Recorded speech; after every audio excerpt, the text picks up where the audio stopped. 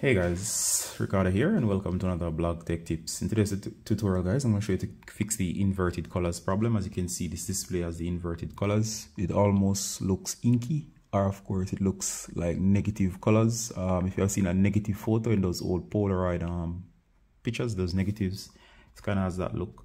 Um, you can know because everything is messed up. Notice the menus, notice the colors down here they're all um, inverted. All right so fix this. Go ahead and go to um, the option which is um, Apple logo click then go to system settings. Uh, after going to system settings settings guys next go to um, the option that says accessibility. Under accessibility go ahead and go to display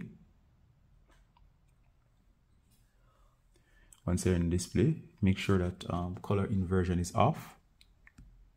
All right so as you can see color inversion is now off and of course the screen is back to normal.